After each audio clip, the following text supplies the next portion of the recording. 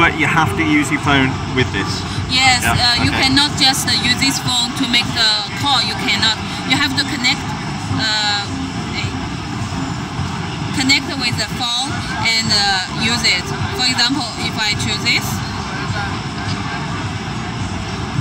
and uh, with this function, you can maybe talk with the phone and active the yes Yeah. and uh, and uh, and you can download uh, more uh, applications uh, because we just uh, launched uh, uh, this phone in China, so we we, Yeah. we, we have some application maybe in China. Do you think this is going to be available in, in Europe, the watch? Mm, I'm not sure. Maybe this year Okay. because we just launched it in China, and uh, some uh, petrometer Yeah. it calculates your exercise per day and some heart rate like this because uh, now I, I don't know in Europe but in Chinese it's very very popular uh, uh, you can connect with your friends and uh, compete uh, who did the most exercise per day but if you use iPhone uh, maybe you have to use the phone and do the access but with this it will be easier and also connect with this phone you can read mess- uh, message Yeah. read the message here and uh, answer the phone. Yeah, yes, That's good. also is uh, available. Yes, and uh, you can see here Yeah. Tencent OS uh, it's based on Android. Okay. It means based on Android, Tencent do more custom. Okay. Whereabouts do I go from this to have a look I at can that? I can show you. Oh, thank you.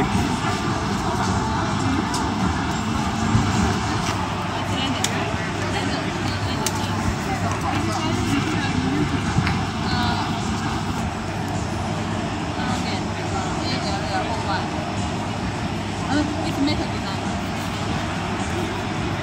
I can show you the Okay, thank you. You're busy, busy this morning. yes. Non-stop. Yes. Last year we, we launched our V6. Yes. Yeah. Yes. And uh, this year we will have V7. But the V7 maybe will be available here maybe in June or July. Oh, that's good. Yes. That's good. Is this it here? This one? No, this is the V7 Lite. You can see V7 Lite. V7 Lite is a 5-inch phone, and uh, it's uh, we call it affordable premium. Yeah. Uh, it's also the metal design, and the price maybe is uh, less than. I'm not sure now because it's not launched yet. Maybe the price is less than 200.